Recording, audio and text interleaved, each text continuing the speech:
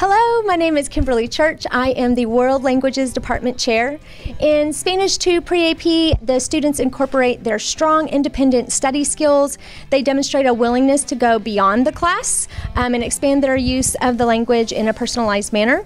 Um, this prepares students who are on the AP track, though you do not have to continue to go towards AP if you don't want. Um, you'll continue to acquire the language through readings, through listenings and digital media, um, and a variety of those things. We do a lot of projects um, that are relevant tasks with real world scenarios, um, and we invent and we create and we collaborate and we do it all in the target language. It's really awesome. Hope to see you there. Pre-AP Spanish 2 is definitely a boost from on-level Spanish 1 because of the additional workload you get from the projects and the presentations. However, a lot of the work that we had wasn't um, assigned from the teacher. A lot of it was us preparing for upcoming tests and projects and making sure that we had everything prepared. What I really enjoyed about Pre-AP Spanish 2 is that we had to present really creatively and you had to um, bring out your own individual in your presentations. I really enjoyed like broadening my scope of Spanish. I learned about history, to like map directions, and I really enjoyed the projects we did, and I, it really improved my presentational speaking because we did so many projects and presentations.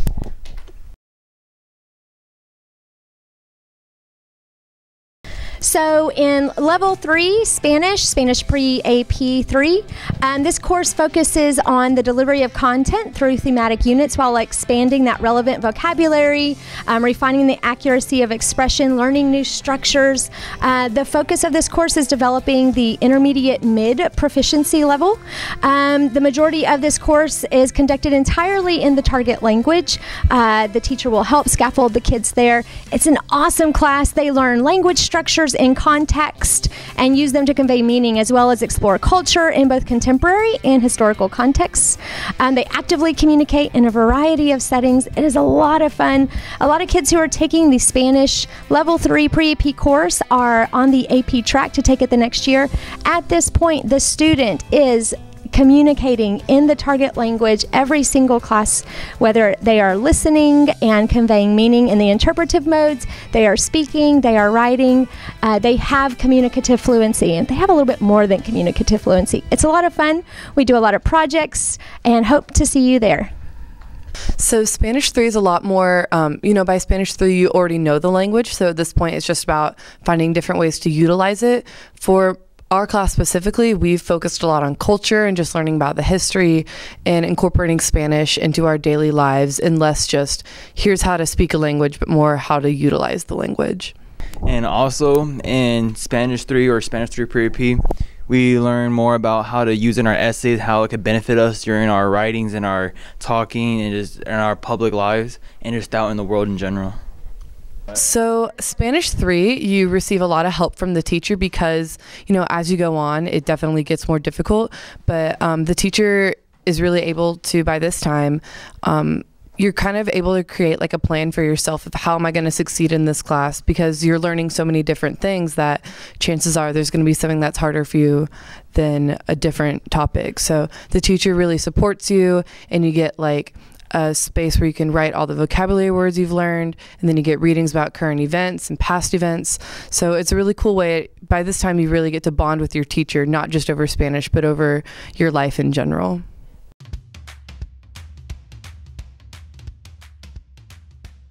So, in AP Spanish 4, we are addressing the language through the AP themes. This is an approved course with an approved syllabus through the College Board. It is taught at an intermediate level, college level.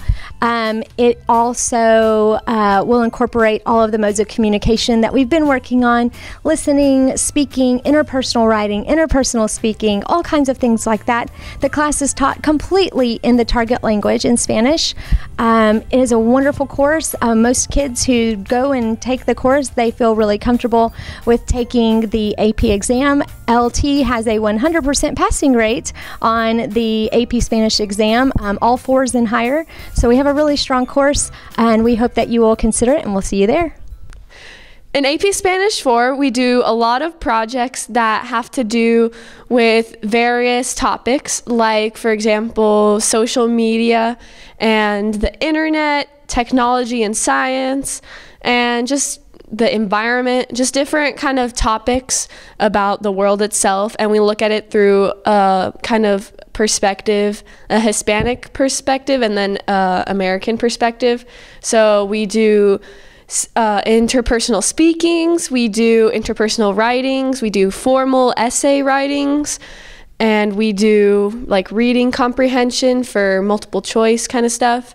And it's it just all each thing kind of goes back to one of those themes. And overall, it's just a really fun class.